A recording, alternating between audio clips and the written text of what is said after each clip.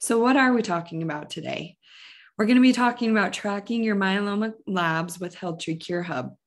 At the HealthTree Foundation, we're making it our mission not to wait for a cure. HealthTree Cure Hub is one of the ways that we are making that mission a reality. Today, we're going to learn about how you can become a more informed patient in your care by tracking all of your myeloma labs in one place. And our team's also going to help you understand a little bit about those labs. Here to speak to you um, about this topic is Patty Patricia Flores. She's an international medical graduate who joined HealthTree in 2020 as a part of the patient experience team. She helps patients understand and track their lab and genetic test results, as well as relevant information from their health history. She loves ballet, traveling, and reading a good science fiction book as often as possible. Andrea Robles is also here. She's an international medical graduate and part of HealthTree's patient navigator staff. She helps complete medical history and patients' important information to help them track their myeloma. She's a wife and mom of three who loves to read and watch movies. And last but not least, we have Ana. She's an engineer and psychotherapist who has experience in both fields and loves them equally. She leads the patient experience team at HealthTree, and she's passionate about talking to patients and empowering them. Whenever she's not working, you'll find her exploring the world, eating different kinds of food, hiking or skiing, and she's a new mom to baby Julia. So we're excited for her. With that being said, I'm going to stop screen sharing and then we'll turn the time over to my team to get started. Hello, everyone. We're super excited to be with you today. Um, this is one of my favorite parts of the job, just being with you, sharing what we have so you can take advantage of it. Um, so as Audrey mentioned today, we're gonna um, explain what your myeloma labs mean and how you can track them on HealthTree and how we can help you accomplish that. Um, so just as a reminder, we're gonna do all the process of logging in to your account or creating a new account if you don't have one. Um, so the first step is to go to healthtree.org and to click on multiple myeloma. Right now, we're also supporting AML, which is exciting. Um, and then once you're in multiple myeloma, please click on CureHub and then on CureHub sign in. Even if you don't have an account, click there. And once you're in CureHub, you'll be able to access your account with your email and password. Or if you don't have an account, just scroll down and you'll find this button that says create account. And you'll be able to create one. You'll be all set and ready to start tracking your myeloma labs and taking advantage of everything we have. Just as a reminder, what what's HealthTree Cure Hub? So HealthTree Cure Hub is a free platform made by patients for patients. It's a single place to track your myeloma. So sometimes uh, we have all of our medical information in different portals, and this way you can have it all in one. Um, and you don't get confused and you can see all the myeloma history in one place. Um, and then um, CureHub, you can find personalized treatment options, clinical trials, find your myeloma twins, a list of myeloma specialists in your area, forums um, where you can discuss myeloma topics with other patients, side effect solutions where you can um, share the solutions that you've tried for your different side effects and also see what other patients have shared. So Audrey is going to share with you all the recordings that we have um, sharing all these different features of Cure Hub. So you can also take a look at them and take advantage of all the features that we have. Okay, so um, I'm gonna go ahead and ask Patty to explain what your myeloma labs are. Thank you, Ana. So as Ana already explained, we have multiple features in HealthTree Hub. Today, we are going to focus only on the myeloma labs section. So once you go into HealthTree Hub, this is the screen you will see once you go into the lab section. On the top of the screen, you will see your treatments once you have added them. And if you haven't, we can help you do that. We will explain that later. Uh, but this is a graphic of how you will be able to compare your treatments with how your labs are responding uh, with each treatment. So this is a great tool for you to be able to see whether you are responding to treatment, whether there is a relapse, uh, you can be able to compare how the trends of your labs are going depending on the treatments that you have. So this is an example of a patient, this is not real, uh, but in this case, we can see that this uh, patient started treatment in around 2009 and we can see the myeloma markers. They were really high in the beginning right? And as the treatment starts going we can see that the patient actually responded to treatment right? Because all the myeloma markers started going down. So this is an example of a way that you can use this tool that we have for you to be able to see whether you're responding to treatment whether there needs to be any changes made maybe uh, a dosage in the treatment that your physician uh, has set. So it's a very visual way for you to understand your labs without having to, to know all the, all the lab values uh, numerically. So this is a great tool. And we also have, when you scroll down, we also have the table. So this is where you will be able to edit, add, or delete if you think some of them are wrong you will be able to add the numerical values. And of course, if you want to check them as well, or you prefer the format of a table, we also have that.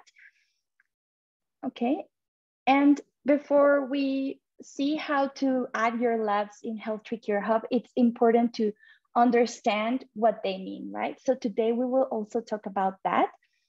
Uh, we have this test. Uh, your physician, you already know that they can take multiple types of samples and from these samples that they take, they will be able to, to take uh, the test results from these samples. We can have blood, urine, or bone marrow biopsy, which is very important, as you know, in, in myeloma. And it's important also to remember why it's important to monitor your labs. Uh, and this is a tool that can help you prevent end organ damage and significant disease. Um, when you are tracking your labs, you can see the trends, how they are, how they are going, if they are going up, if they are going down, if they are controlled. And by taking this proactive action with your labs, with your health, you'll be able to, to notice if there are changes that need to be made and prevent this uh, extensive disease. And before we go on and talk about the labs, here's just a reminder that multiple myeloma is a type of cancer of plasma cells. This is important because when there is an excessive production of plasma cells, there will be an excessive production of proteins or other components that are proper of the plasma cells. And these proteins will help us identify whether there is uh, an uncontrolled amount of plasma cells whether the disease is uh, increasing, whether it is progressing, or if it's controlled. On the next slide, we can see an example of an immunoglobulin. And it is important because these immunoglobulins are produced by the cells that we just talked about. So if we have an increased number of plasma cells, we will also have an increased number of these, these proteins, which are called immunoglobulins, and it's an indirect way of measuring myeloma. So not all the time, as you know, your physician will take a bone marrow sample and see the plasma cells that are at that moment, uh, because it's not, it's not very uh, useful to do it every single time, right? That is why we have indirect ways of looking at them. And this is an example of them. In the middle section, we can see a green white part, uh, it looks like a white, it's green. And that is the heavy chain. So that heavy chain is what gives us some of the labs that your physician needs to look at, right? So they are IgG, IgA, IgM, and there can also be D and E, but they are not as common. And the blue chains that are adjacent to that green Y figure, those are the light chains, and they can be kappa or lambda these are very important because these two uh, chains that we have in this represented in this picture, they will give you what's your myeloma subtype, right? So you can be IgG lambda, IgG kappa, just to say a few examples. And then uh, here we can see the myeloma labs. When you go to your labs, you will see that in HealthTree, we have divided them with the myeloma markers. And after this, Andrea will talk about the other type of labs.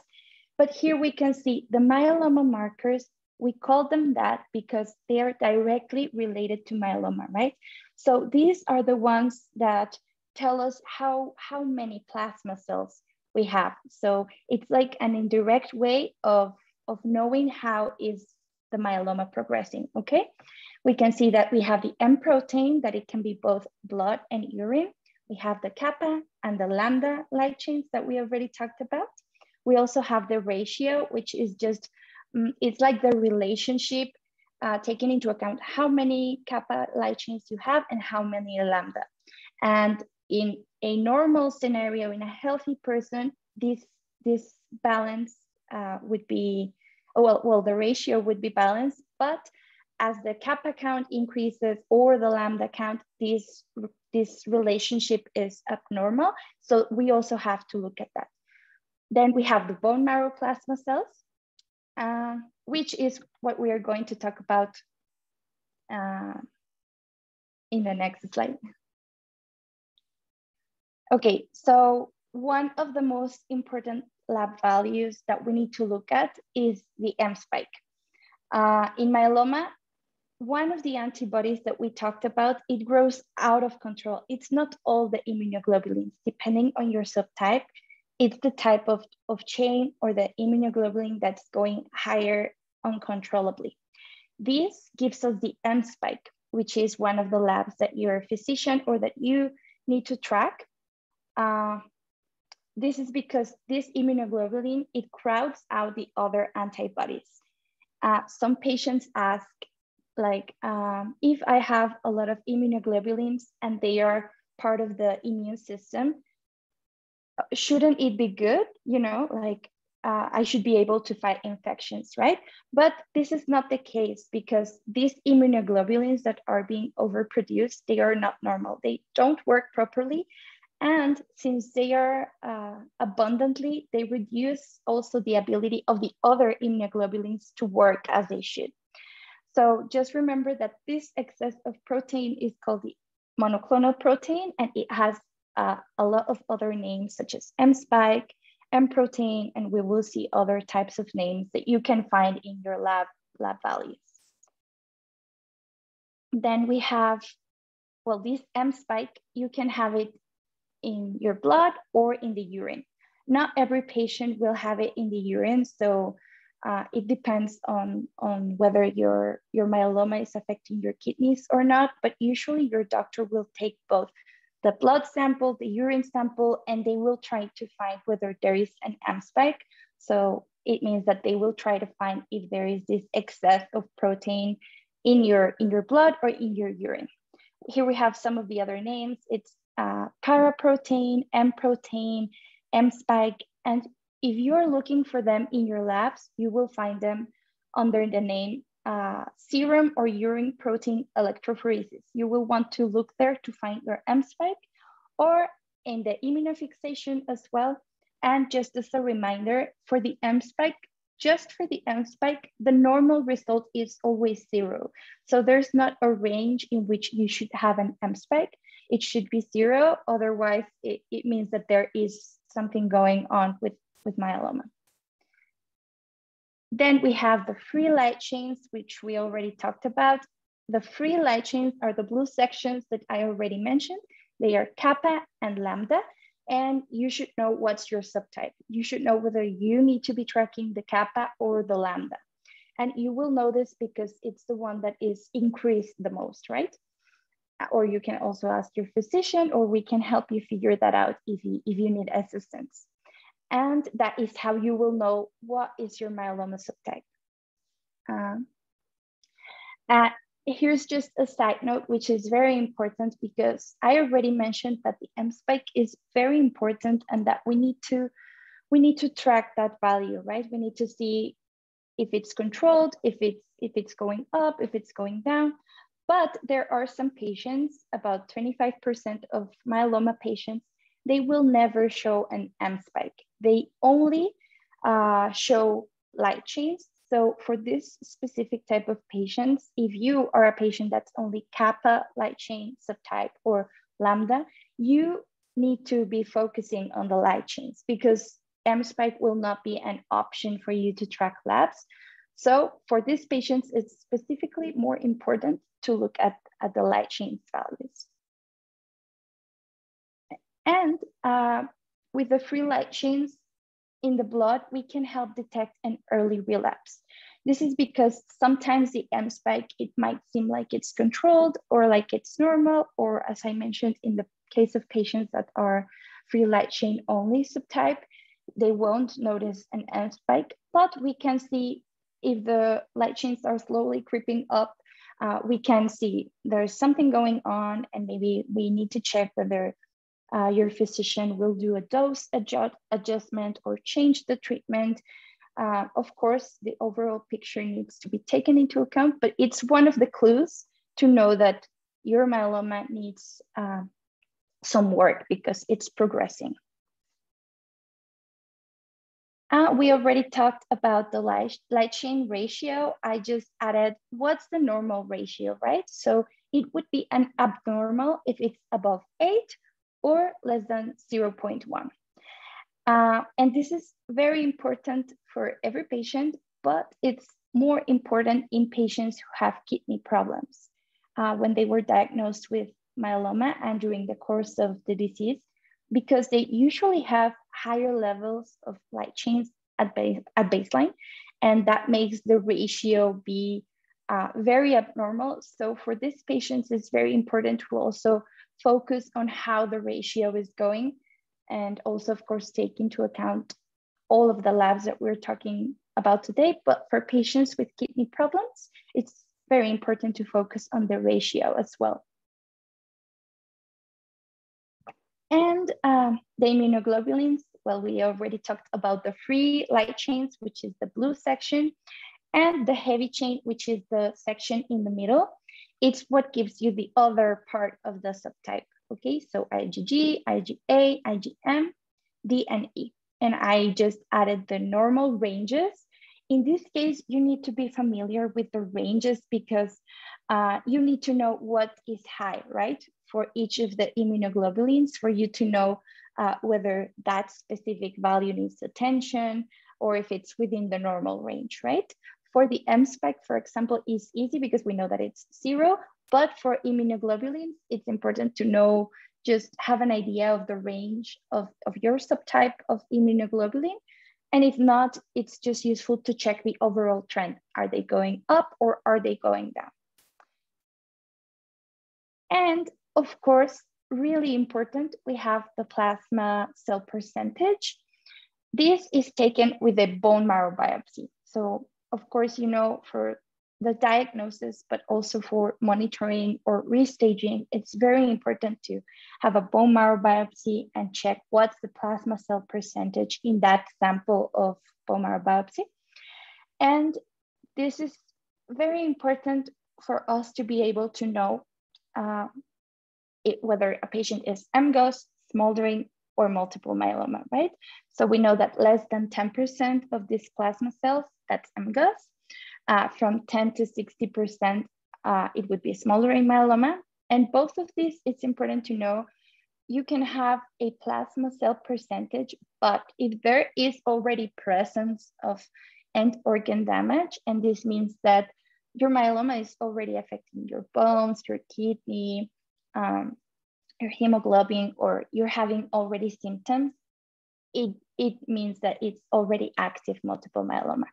So this plasma cell percentage is also just a clue and a piece of the puzzle, but it's important to take into account the whole picture. And we already, we also have the genetic tests uh, and your doctor uses this bone marrow sample to send it to, to for genetic testing. We also have the option, uh, as you can see here, of adding your myeloma genetics. And if you've seen a result of a genetic test, you'll see that it's very difficult to interpret. So also if you're having issues with understanding your, your genetic tests, the results or what they mean, we can help you understand that as well. Uh, today we will focus mostly on the lab section, but I just wanted you to know that this bone marrow sample is what they send to see whether there are any chromosomal abnormalities and that we can also help you understand that if you have any questions. And in this example, you can see once you add them into Health Hub, you can also click to see what they mean. So once you know what are your specific chromosomal abnormalities, you can see the definition, uh, what it means clinically, okay?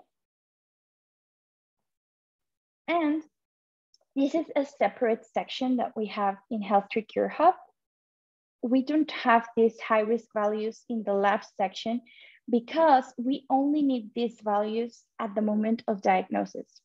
Uh, these values are the beta-2 microglobulin the albumin, the LDH, and also the genetic tests.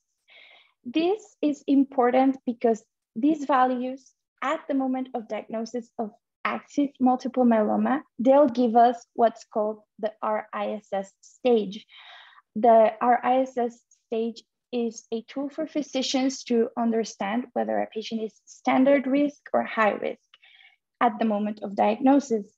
This tool is useful for prognosis, but it is important to remember and take into account that it, there are multiple other factors that influence the course of the disease, such as other diseases that the patient has, um, responses to, to lines of treatment, the overall fitness status of a patient. So this is a tool to help uh, the physician see the overall picture and yes, have an idea of the prognosis, but it's not set in stone. So once you figure out your stage, and if you have any questions, you can reach out to us and also talk to your physician about it if you have any concerns. Uh, now we will see how you can find out your stage of diagnosis if you don't already have it or you don't know it. We have this tool for you. Uh, this is the, the dashboard that we have. We will click on diagnosis, as you can see on the screen. Then this is an example of how it would look like. We will click on add new. Here we will find this tool, okay? You won't need to add a new diagnosis, but, but here you can find this calculator. You click on find my stage here, the blue section that we see right now, and it will open up this calculator. Uh, of course, you will need to know these values, but it's important to, to remember that it's the values at diagnosis. If you enter other values, they will not be accurate. So uh, for the purpose of this example, I will fill out the, the calculator of the, yeah, we can see I entered beta-2 microglobulin less than 3.5, albumin less than 3.5. I added a high risk um, for the FISH test results and normal LDH. And on the top of the screen, we, you will see your stage diagnosis. Uh, this is just an example. So if you want to go ahead and do that exercise, you can go to Health Cure Hub and see your RISS stage at diagnosis. And also, if you don't know whether your specific test results are high risk or standard risk, we also have this little I button. You can click on that or hover over that blue button and you will see what are, are the, the mutations that are considered uh, high risk. It's deletion 17, 17 translocation 414 and translocation 1416. So if you had one of those at diagnosis, that would be considered high risk. If you don't have those, it would be considered standard risk. Now we'll proceed with Andrea to continue with the lab section. Thank you, Patty. Now let's talk about CRAB.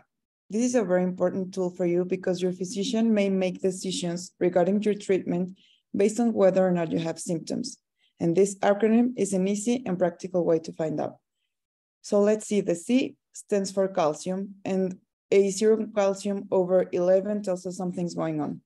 The R stands for renal insufficiency and as you know, your kidneys are in charge of cleaning waste out of your blood. So an impairment on doing it translates into a low creatinine clearance called EGFR or a high serum creatinine over two milligrams. Next, the A stands for anemia, and the anemia is diagnosed based on your hemoglobin value, and a value less than 10 grams tells us something's wrong too. And last, the B stands for bone lesions. You can either have pain on your bones or lytic lesions. These lesions can be seen on CT scans, PET scans, uh, skeletal surveys um, made by radiographies, and they can be located in your skull, in your leg bones, or in your chest bones. And moving on to the next slide, here you can see uh, how can you track your graph on your CureHub profile, and it's a very dynamic and graphic way. Notice that when you leave the cursor, the cursor at a specific time, it shows you the exact value of your blood test in color blue. And next, we are going to talk about the complete blood count. This is essential because myeloma being a proliferative disorder can produce, as Patty told us, too many and too big myeloma cells or plasma cells. So these cells can crowd out your bone marrow and they leave no space for other cells to grow. So this can lead to several deficiencies in your blood, such as anemia, as we talked before, as low hemoglobin, and then uh, low platelets that are the cells that help your blood clot can lead to thrombocytopenia, and this can make you bleed easily. And last, the low white blood cells can lead to infections.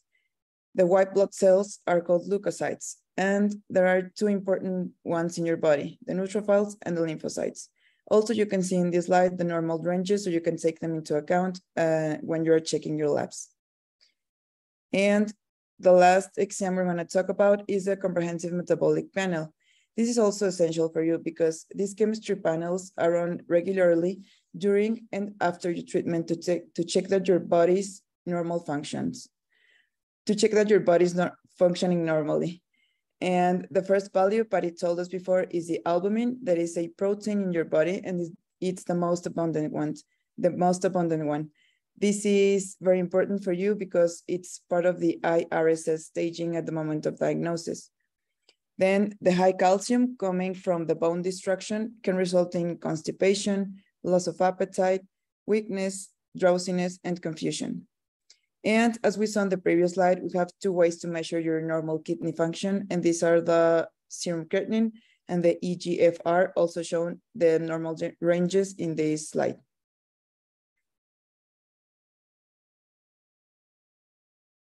Thank you, Andrea, Patty. Uh, well, now you guys know what your labs mean, and uh, because we don't want you just to go there and see like what does all these different numbers mean, right? So um, now that you know what they mean, I'm going to show you how to add them on CureHub um, so you can have everything there. So the first thing you have to do is log into your account, as I already explained, and click on Labs your tracker myeloma, click on labs. There are different ways uh, how you can add your labs on CureHub. So you can either add them manually. This is a good exercise sometimes. Uh, if you are a new patient, trying to go to your labs and your exams and looking at them and adding them, it's a good exercise because you notice the numbers, you see the graph, how it changes. So this is more, I would say, like an educational um, thing to do. Uh, but we can also help you. So if you have your PDFs on your computer, or if you have your um, labs in a paper, you can take a picture and then you can upload them here. So you just click on upload your medical records and we will get those and we'll be really happy to add them for you. Um, and we'll you'll get an email once everything has been added. This is not automatized process. We get the file and we add them our experts in labs at them. And once that's done, you'll get an email from us. Once you get that email, you can schedule a call with us if you have questions. If you don't still don't know what those numbers mean, you're confused, we're all about that. We're all about explaining what your myeloma is, okay? We do not give medical advice, but we want you to go to your doctor empowered to know what you have what you want and your questions, your important questions. We don't want you to go to your uh, myeloma specialist with, what does this mean? No, more important questions like, what's my next treatment plan uh, and why? So we can help you with all that before. So we can prepare you for that consult. Um, and then there's another cool way to upload your labs, which is automatic. Uh, we love that one. Um, it's using Apple Health and, um, and HealthTree Connect. So basically, Apple, if you have an iPhone, Apple, you can connect you can connect it to your patient portal and then Apple gets your labs values and then we have an app of our uh, of HealthTree and then HealthTree gets the labs from Apple Health and then you'll get them in in the, your chart. So that's really cool. Um, you make the connection every time you want your labs your new labs to get in, okay? Uh, if you click here, you'll get all the instructions of how to do it, but don't worry if you get stuck, we can help you. We're always, always here to help. So you can call us and we'll be really happy to help you with that process, okay? So that's another cool one. Audrey will be sharing in the follow-up email a list of Apple Health facilities. So because Apple Health doesn't support all the facilities in the US, just some of them, and then um, some Canadian ones uh, and some other international ones. So you, you can look uh, look at them and see if your facility is supported by Apple Health. Um, and then you can also give consent for uh, HealthTree to enter your labs. So for the consent, uh, if you have any questions as of what you're consenting to, once you click in there, uh, you'll see this button here, and then you can click there and everything will be explained. But still, if you have questions, you can call us and we'll be really happy to explain this section. Um, so once you are good, you can click on add new medical record connection and we'll connect your labs. So the first thing that you have to do is look for your facility. We can do US facilities and international ones. So if we have uh, some international patients on this webinar, we'll be really happy to do that as well. Um, sometimes it gets harder. So if you can get them yourself and upload them, that works as well. But we can do it. We can try to do it for you for sure. Um, so you click, uh, sorry, you enter your facility and then you either choose electronic health records and paper records or one or the other. So what does this, this mean? Electronic record is your patient portal. So like my chart, my health plus, all those portals that your facility has and where they upload your results and all your medical records. Um, so that's your electronic health record that's sometimes that's the best way if you're looking for us to work faster and if you want us to update your information um, real like whenever you want so if you have a consultation with your specialist or you're getting a second opinion which we really encourage just not visiting one specialist but at least two um, then you can always call us and say hey can you update our, my information so we'll go and that's a really fast way to do it. So we can even have it the same day or one, just give us one day and you can have it ready for your, your doctor. So we really recommend a way it's easier for us. But if you don't have it or that's not your preference, that's okay. You can also do paper records. So what does that mean? Also paper records works, works more for international patients um, because sometimes they don't have patient portals. So you can do that as well. Paper records, you basically sign the consent and we send the consent to your facility and then they fax your health records to us and we add all the information we don't only add your lab values, we add your genetic test, your treatments, your um, diagnosis, um, and everything that we find are your current health. Sometimes if you have like some kidney issues there or um, anything that we see, we add it to your CureHub profile so you can get the best out of our features. So having a validated profile added by, by us uh, will really bring you the best results, okay? Um, and uh, yeah, so we'll do that. And you can, once your profile has been validated and updated, you can, we will let you know, as I mentioned before, and you can schedule a call with us so we can explain what it means, everything. So that's really cool. Um, so basically, it's going to ask you to, um, sorry, to add your first name, middle name, last name, maiden name, uh, your street address. That's because the consent asks us to complete that information. Um, so you'll have to add that. You're gonna have to add your signature using your, um, your finger or your mouse. So your mouse pad or your mouse on your computer. And then you have to submit the signature and you will be all set for the paper records. And then if you chose to um, share your patient portal with us as well, you'll enter your username, your password, and your the website. So where do you go? To see your records. So my chart, uh, Mayo Clinic, whatever, okay? So you click on save and continue and you're all set. We'll get that and we'll send you an email as soon as your information is ready. We have a lot, we're working for a lot of patients right now.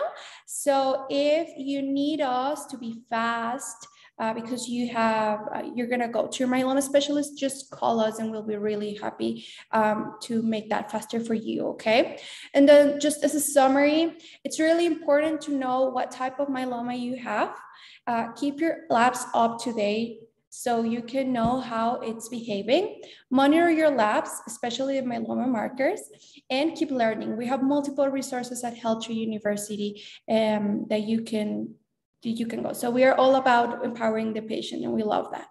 Um, and if you need assistance, you can contact our team at support at healthtree.org. Don't worry. Um, Audrey is going to share that with you as well. And that's our phone number, 800 709 1113. And uh, if you're an international patient and you can't call us for some reason, we can call you. So you can just email us, or if you go to healthtree.org at your bottom right, you'll find a chat icon. So you can click on that one and uh, just ask us to call you, and we'll be really happy to do that.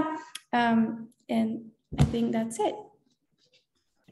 Awesome. Thank you so much. Um, you can tell I have an excellent team who works really hard to make sure that the patient comes first. And um, and the caregiver. and we um, really um, look forward to having your questions now so that we can answer them and help uh, ease your burden a little bit. So there's a couple questions already here that we can start off with, guys. The first one is from Linda. She's asking if we could talk a little bit more about risk. Um, she is smoldering myeloma with no treatment and not really sure where to look within our website or CureHub. Um, I have a couple thoughts, but let, let's turn it over to you guys first. I can answer. Um, so for patients with smoldering myeloma, it's different rather than with uh, active multiple myeloma. With active multiple myeloma, they use the RISS stage system. So if you transition to being active multiple myeloma, your physician will need to look into these high risk values and see the stage. But uh, for assessing risk at smoldering myeloma, there are different tools. We do have some articles that I can send you, but basically the one that uh, most physicians use is the 20 rule from Mayo Clinic, uh, in which is it takes into account the M spike, the free light chain, and the and the plasma cells. So if the plasma cells, uh, they are more than 20%, if the light chains, they are more than 20 grams per liter, and if the if the M spike is higher than two. So that, it, that is why it's 20 to 20.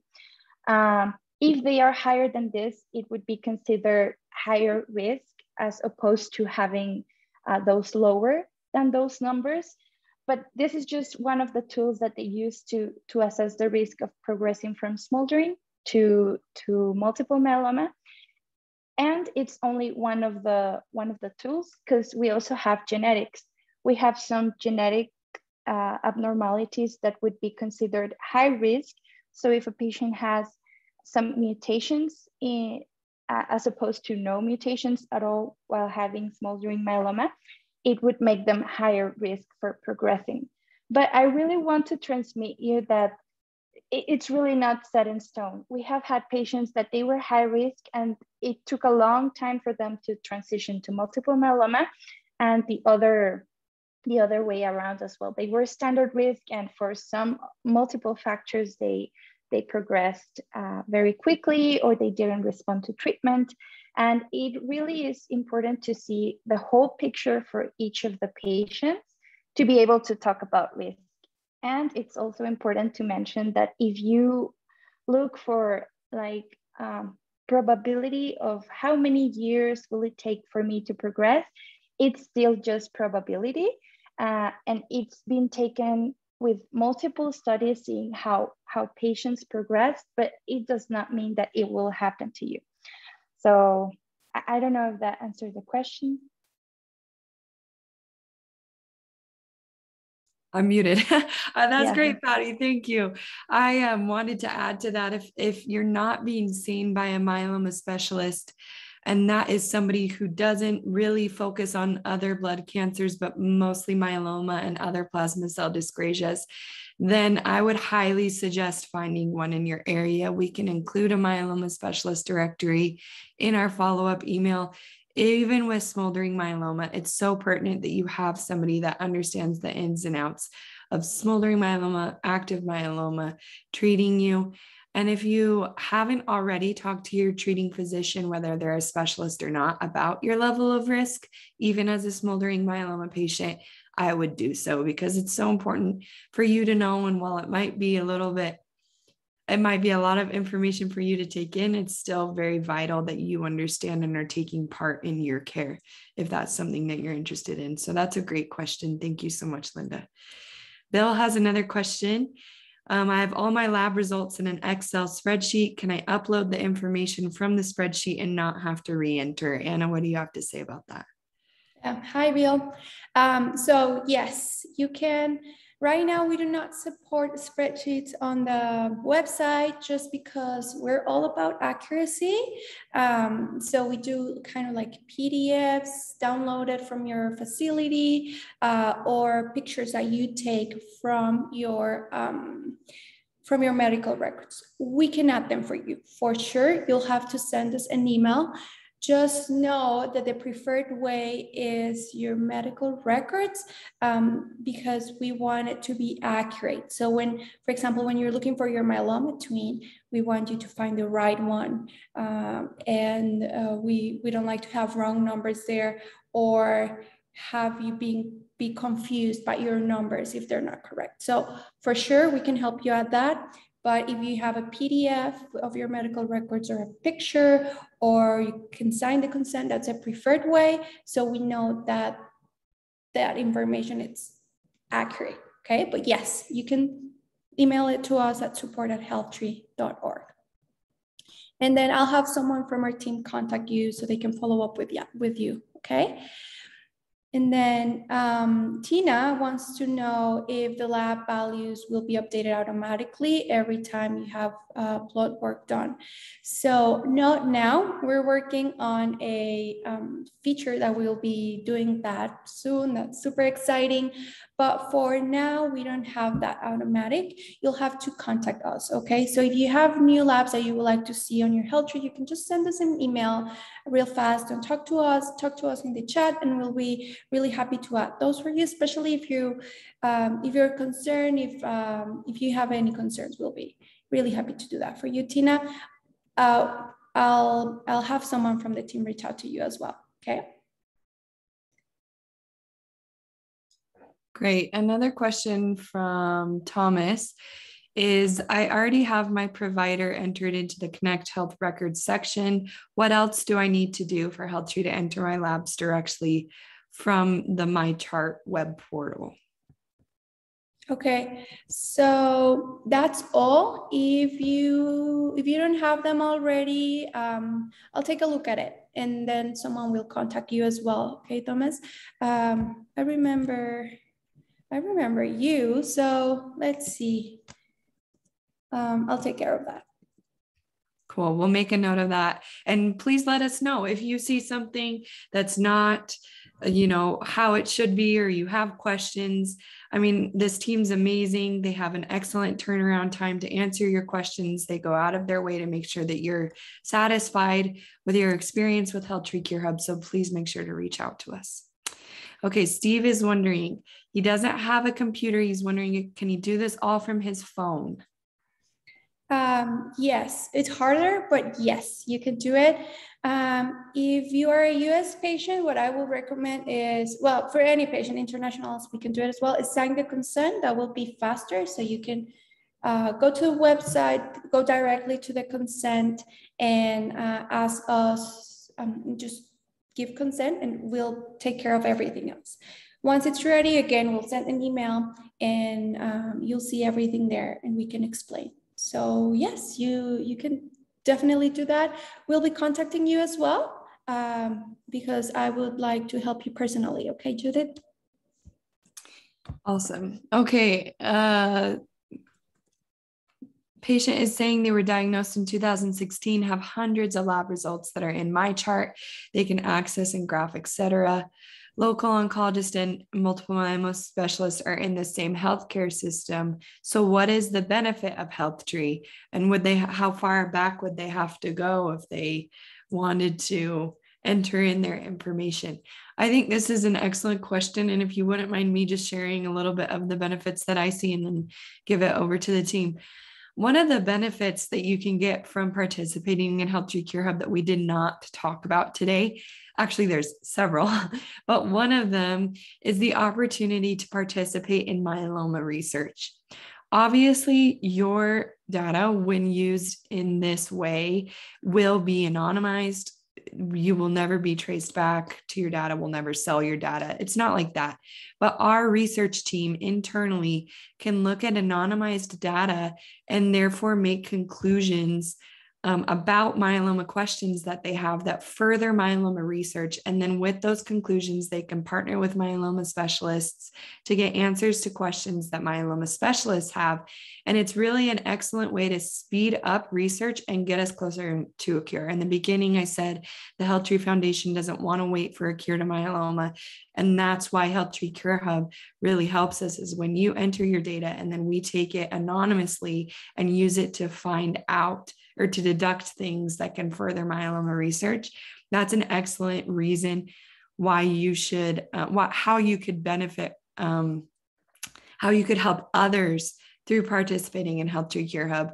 Your benefits include um, finding a myeloma twin who's like you, personalized treatment options recommended by specialists, personalized clinical trials that you might qualify for, uh, side effect solution. So if you're struggling with the side effect, um, being able to uh, find solutions, um, community forums where you can communicate with others who might be going through the same thing as you. I mean, there's just so many benefits. We've tried to make it beneficial to you um, as well as have that potential for research. So, um, any other thoughts, you guys? I'm obviously very passionate about the benefits of HealthTree Cure Hub, but any other thoughts?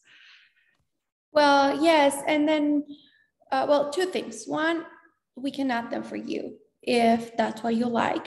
And then the other thing is you don't have to add every one of them, just like the important ones. So, what would that be?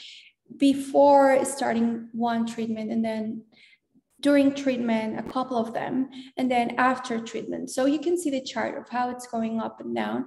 And then if you would like also like to get in touch with your twins, um, you can they'll be able at some point uh, to see your labs as well. So that will be really interesting. Not your personal information. Just to clarify, the twin machine, we don't share personal information. You're an anonymous patient. And then if you want to chat with your twin and connect with them, you can share that with them. Um, so yes, just I would say just important ones. Make sure that you add one um, set of labs at a year at least and then before treatment during treatment after treatment that would be most the most important.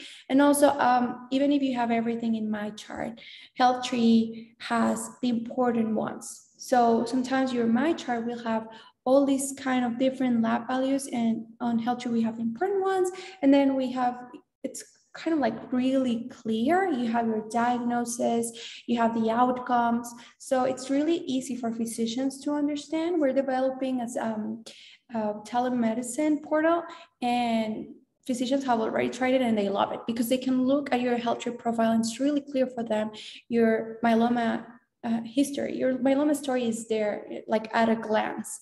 So that's why I would only add kind of like the important ones. And then, as Audrey said, you can take advantage of all their features and help with myeloma research. Awesome. Hopefully you, hopefully that helped answer some of your questions. Um, another question here that we'll turn over to Patty. What does it mean if IG G if IgA, excuse me, and IgM are below normal range, but IgG is in the normal range. Does transfusions, um, IVIG transfusions help these? So also, Patty, if you can explain um, the IVIG transfusions for those that aren't familiar with those. Okay. So first, this is very common in patients with multiple myeloma since they have uh, an immunoglobulin that's going higher than the rest of them, it means that it leaves no more space or the plasma cells are tired of producing this immunoglobulin. So the others, the, the ones that should be balanced with, with all of the other immunoglobulins, they are rather low. So even when the immunoglobulin is, it goes back to normal, the others could remain low. And Yes, IVIG infusions help. What this is, is they have uh, immunoglobulins uh, infused by an IV line to the patient. Uh, you would have to check with your physician, of course, but this is considered like a supportive treatment for patients. What the IVIG infusion does, it, it helps boosts, it helps boost the immune system. So these immunoglobulin levels that were low, so when they are low, it means that the body is going to have difficulty fighting infections. So that is what we should be worried about. Um, these IV, IVIG infusions, they help boost those immunoglobulins level. They go back to normal. And it's just considered a supportive treatment for patients with myeloma. Also, MD Anderson, they had a recent study in which they, they saw that these IVIG infusions, it helped um, like the immune system go back to normal, but they also saw that uh, it slowed the progression of myeloma.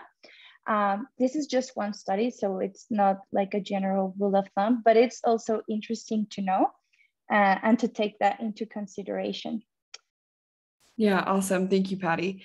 So I just learned about this, which is funny, right? Being in I've been two years now in the myeloma field, but I just learned that immunoglobulin is the same thing as an antibody. Like I didn't know that.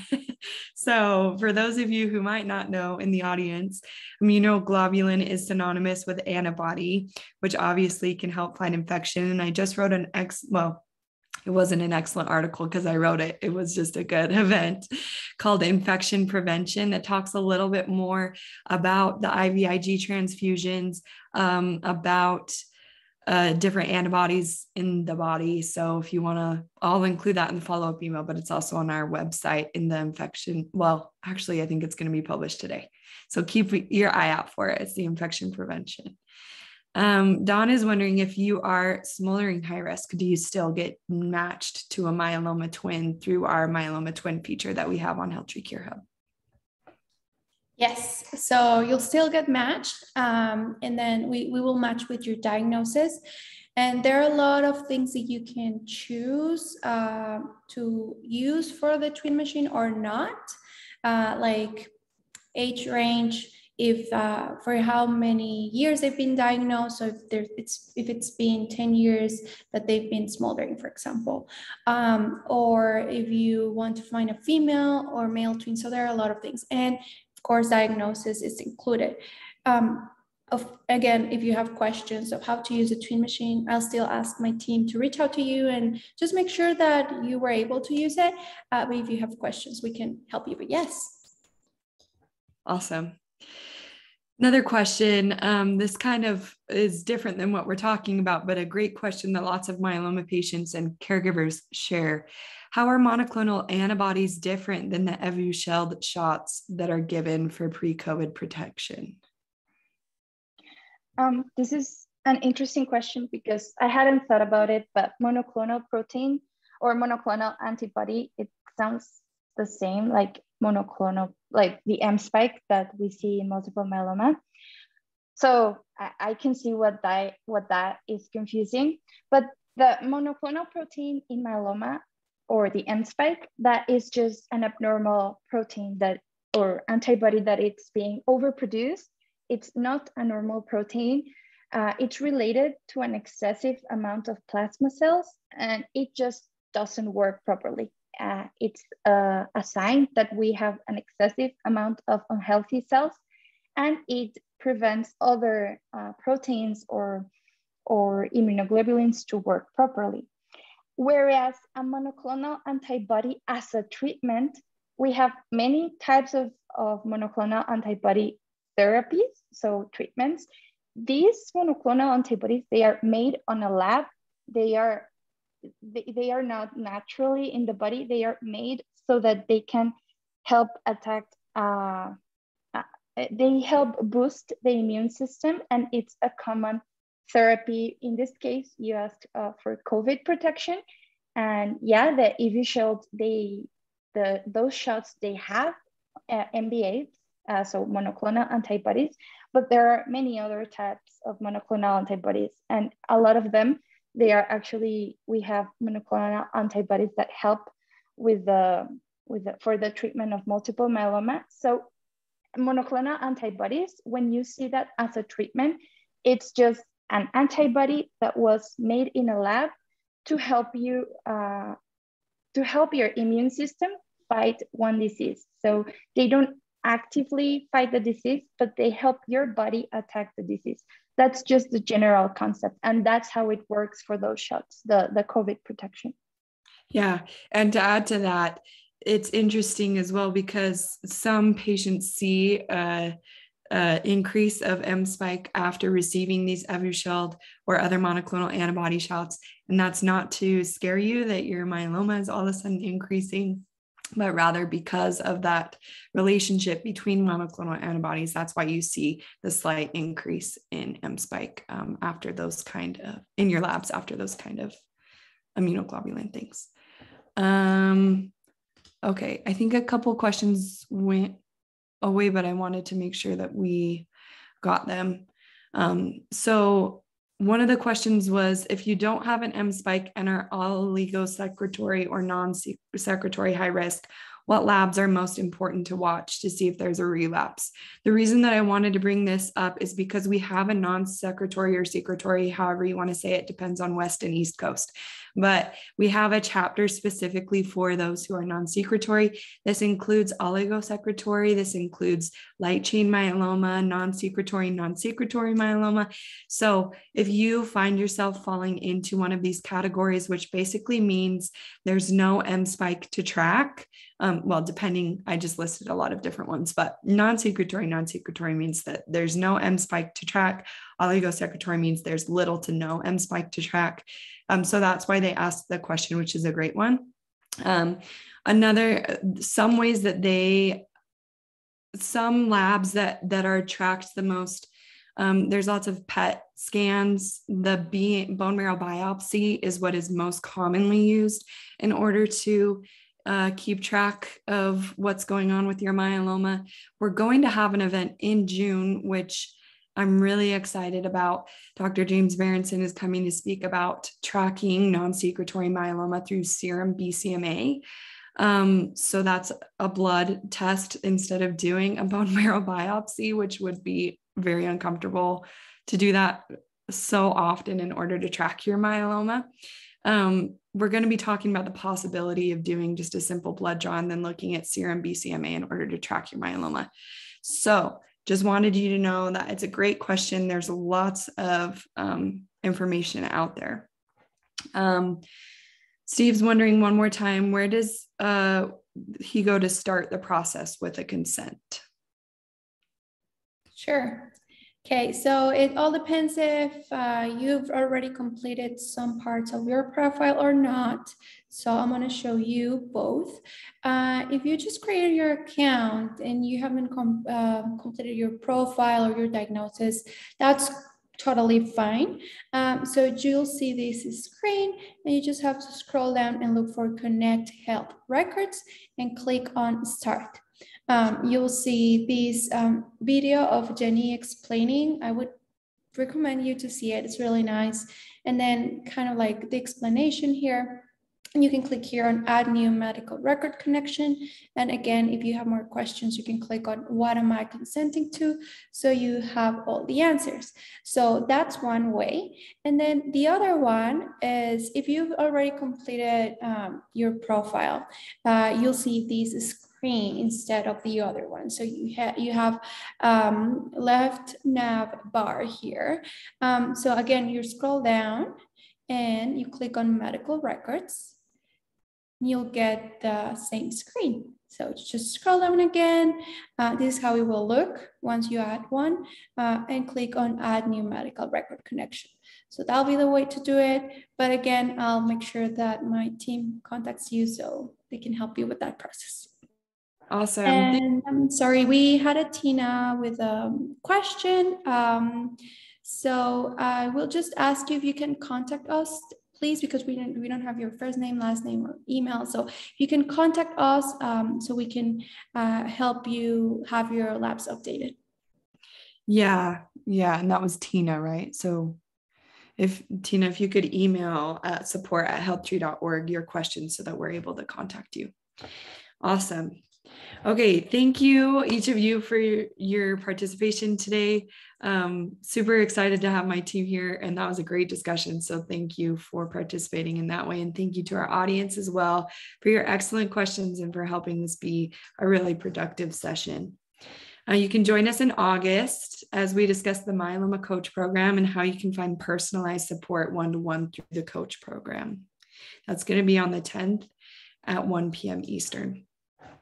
You may be interested in other myeloma community events um, that you that we have coming up. Wednesday, June 8th is 7 p.m. at 7 p.m. Eastern is our STEMs. Oh, that's today. I don't know what universe I'm living in that we're not in June, but apparently we're in June already.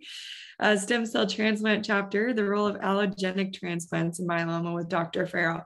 So you hear about autologous uh, stem cell transplants quite often in myeloma. Does allogenic transplants have a role in myeloma? And if so, what is that role? We're going to talk about that tonight. And then the 9th at 6:30 p.m. Eastern is our Northeast Myeloma Crowd Community Chapter. We're going to be talking about the PROMISE and P Crowd studies with Dana Farber staff.